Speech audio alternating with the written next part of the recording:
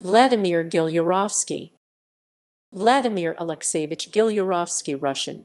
Vladimir Alexeyevich Gilyarovsky 26 November 1853 1 October 1935 was a Russian writer and newspaper journalist best known for his reminiscences of life in pre-revolutionary Moscow Moscow and Muscovites which he first published in a book form in Biography he was born on 26 November 1855, according to church records, 1853 according to his own writings on a manor near Vologda his father, a Novgorodian, worked as an assistant to the manor's bailiff, a Zaporozhian Cossack whose daughter he later married.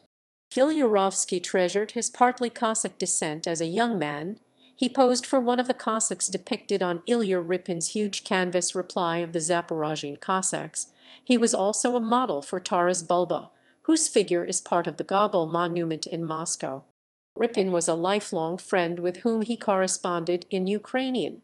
Raised by his well-educated mother, who died when he was eight, and his aristocratic stepmother, he left home early and after a series of odd jobs, which included stints at a toxic lead paint factory in Yaroslavl, as a tutor, and as a barge hauler he enlisted as a volunteer during the 1877–78 Russo-Turkish War.